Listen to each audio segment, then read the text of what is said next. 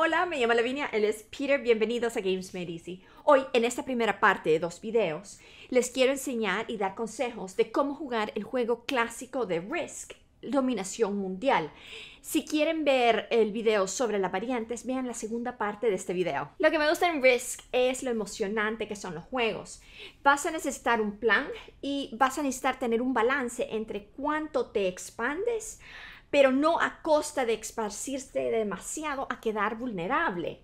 Claro, hay un elemento de suerte porque estás usando dados. Si te gusta este video, considera suscribirte y darme un like porque ayuda bastante.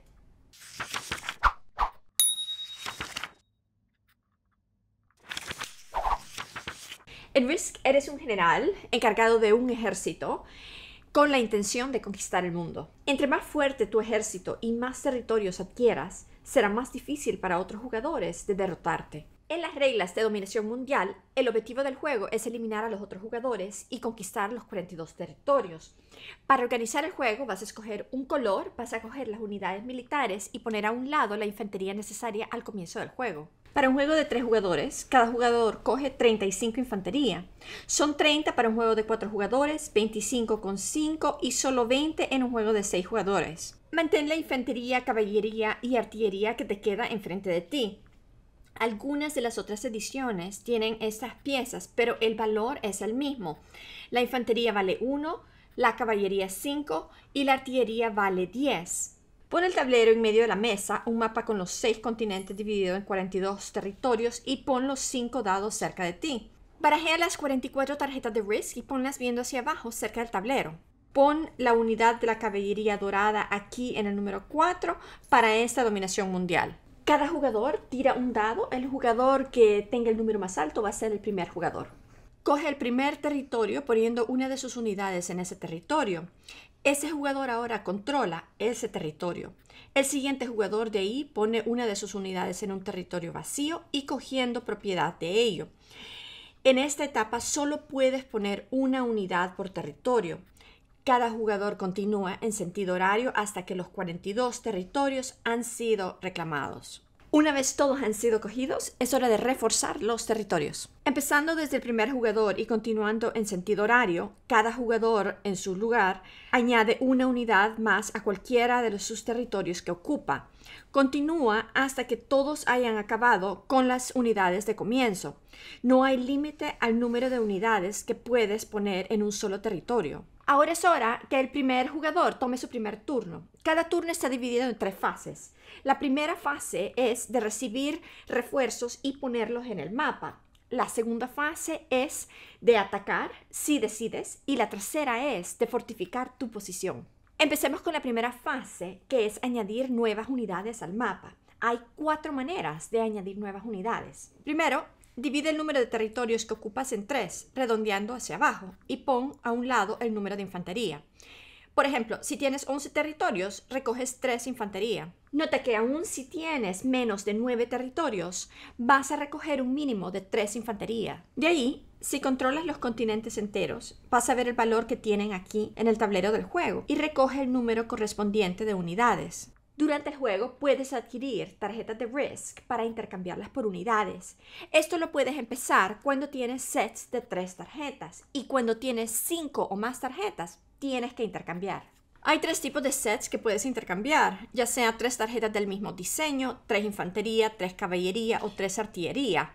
Un set con cada uno de los diseños o un set con cualquiera de los dos diseños y un comodín. La recompensa está en el tablero aquí. El primer set vas a intercambiar cuatro unidades, el segundo seis unidades, el tercero ocho unidades, como te lo enseña. Usa este marcador para marcar en qué nivel van. Finalmente, la cuarta manera de ganar unidades es si una de las tarjetas que estás intercambiando es uno de tus territorios que ocupas. Recoge dos unidades adicionales. Debes de poner estas unidades extra en el territorio correspondiente. Ahora es la segunda fase del turno y es atacar para coger territorios de otros jugadores. Estudia el tablero, a dónde quieres atacar. Y si atacas, tienes que seguir tres reglas sencillas. Primero, solo puedes atacar un territorio que está adyacente a uno de los tuyos. Eso es ya sea conectado por una línea, como aquí Indonesia puede atacar Siam.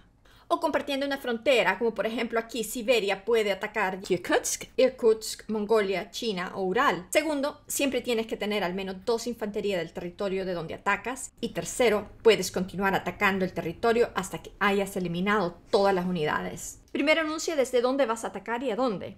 De ahí los dos, tú y tu adversario deben anunciar el número de dados que quieren tirar. Tú atacas ya sea con uno, dos o tres dados y debes tener al menos una unidad extra que número de dados que vas a tirar.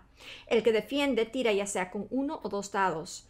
Para tirar con dos dados debe de tener al menos dos unidades defendiendo. Los dos, el defensor y el agresor, tiran los dados al mismo tiempo. Déjame enseñarte cómo resuelves la tirada de dados. Compara el resultado más alto. Si el agresor es más alto, el defensor pierde una unidad. Si el defensor tiene un número igual o más alto, el agresor pierde una unidad.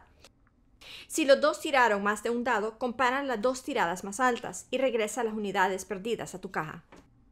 Déjame enseñarte unos ejemplos para que quede súper claro. África del Norte ataca a Europa del Sur. El jugador que ataca usa tres dados, el que defiende solo uno. El resultado más alto es 6 del que ataca, o sea que el azul pierde una unidad. En este segundo ejemplo, Europa del Sur decide defender con dos dados. O sea que comparamos las dos tiradas de dados más altas, que es 6-3 y 2-2, o sea que cada uno pierde una unidad. África del Norte ataca Europa del Sur con dos dados, y en este ejemplo Europa del Sur gana con los dos. África del Norte pierde dos unidades. En este cuarto ejemplo, África del Norte ataca con un solo dado, y aunque Europa del Sur pierde con los dos dados, solo pierde una unidad. Si derrotas la última unidad de un territorio que has atacado, lo capturas y debes ocuparlo inmediatamente. Para hacerlo, mueve al menos el número de unidades que el número de dados que tiraste en la última batalla. Deja al menos una unidad en el territorio que todavía ocupas. Es usualmente una buena idea mover tus unidades al frente, pero eso depende de ti. Puedes parar un ataque o ataques en cualquier momento. Ahora, si has capturado al menos un territorio, vas a coger una tarjeta al final del turno. Si has eliminado a otro jugador por completo, es decir, la última unidad ha salido del mapa, vas a coger todas las tarjetas de ese jugador. Si eso pasa y tu mano es ahora 5 o más tarjetas, vas a tener que intercambiar suficientes sets para que reducir tu mano a 4 o menos tarjetas. Si recibes tarjetas de ese jugador, pero tu mano es menos de 5, entonces vas a intercambiarlas en tu próximo turno. Ya sea has escogido atacar o no, puedes fortificar tu posición. Déjame enseñarte la última y tercera fase de tu turno, es fortificar.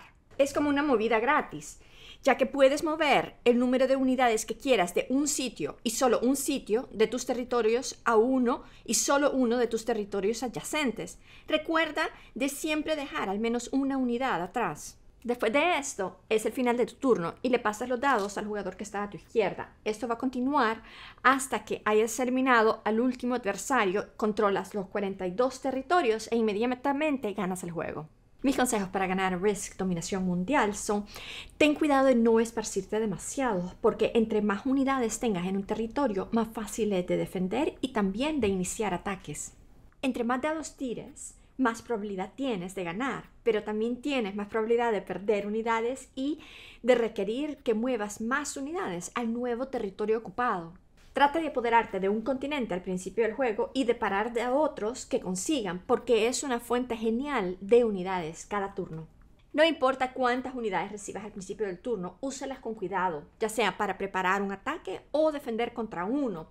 Una buena estrategia es mover esas unidades al frente, fortificar tus fronteras donde tienes enemigos cerca.